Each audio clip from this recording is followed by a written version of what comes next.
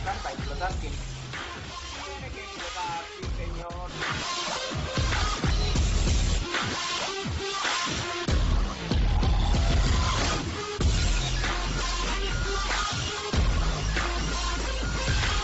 Hola a todos, soy Don PJC y esto es la sección mensual en la que os traeré todas las ofertas de PlayStation Network, o sea, os diré los juegos gratuitos que lanza Sony, la compañía de PlayStation, empezando con PlayStation 4, continuando con PlayStation 3 y finalizando con PlayStation Vita.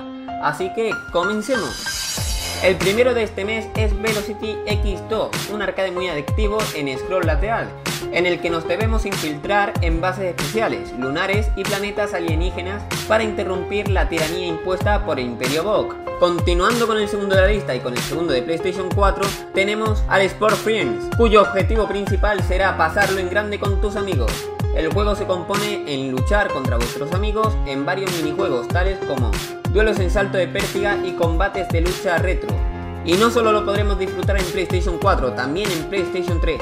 La joya de la corona para la consola PlayStation 3 es nada más y nada menos que PlayStation All Star Battle Royale, en el que podremos escoger muchos de nuestros personajes favoritos de la casa de PlayStation, entre los que se encuentran Kratos, Drake, Sly Cooper, etc. Las batallas son de 4 personas, muy parecido al estilo que usa el Super Smash Bros. Brawl.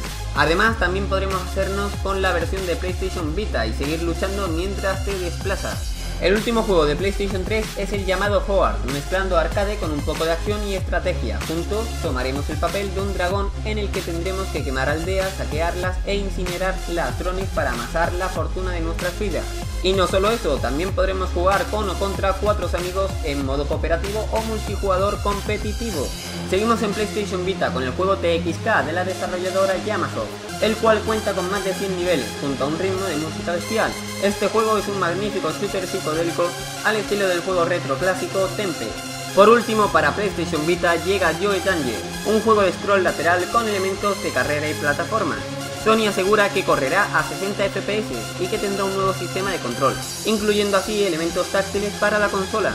Como siempre espero que os haya gustado las noticias de este mes, pero recordad que hasta el 3 de septiembre no sale. Así que disfrutad hasta entonces de los juegos del mes pasado antes de que los quiten también en la misma fecha, el 3 de septiembre. Aparte de esto, deciros que si queréis saber los juegos gratuitos del mes pasado estarán en la descripción. Así que nada, hasta más ver. Adiós.